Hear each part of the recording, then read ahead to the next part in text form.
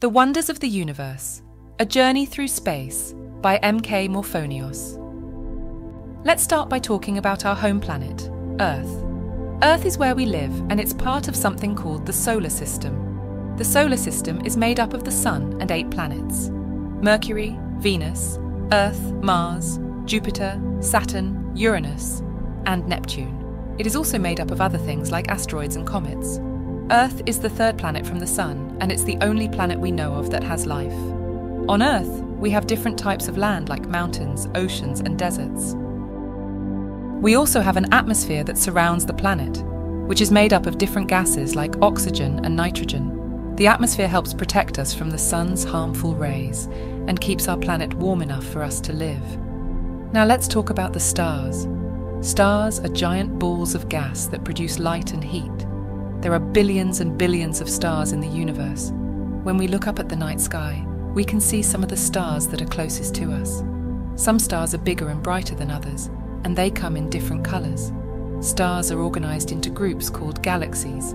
Our solar system is part of the Milky Way galaxy, which is a spiral shaped group of stars.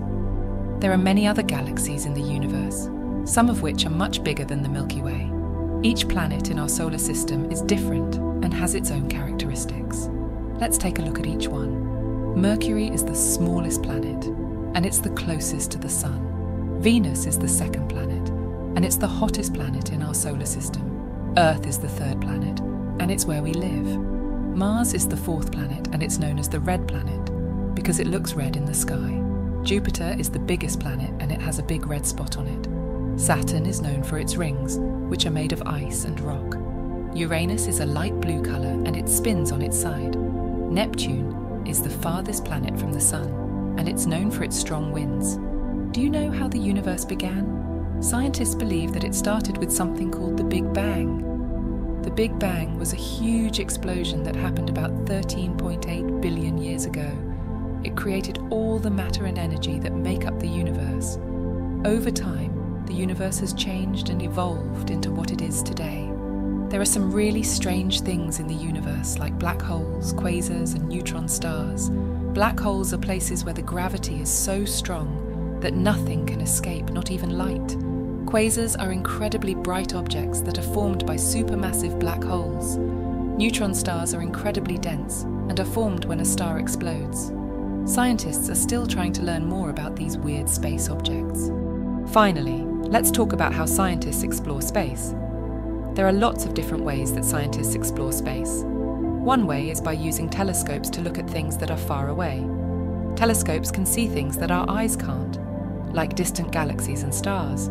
Some telescopes are even in space, like the Hubble Space Telescope. Another way that scientists explore space is by sending spacecraft to other planets and moons.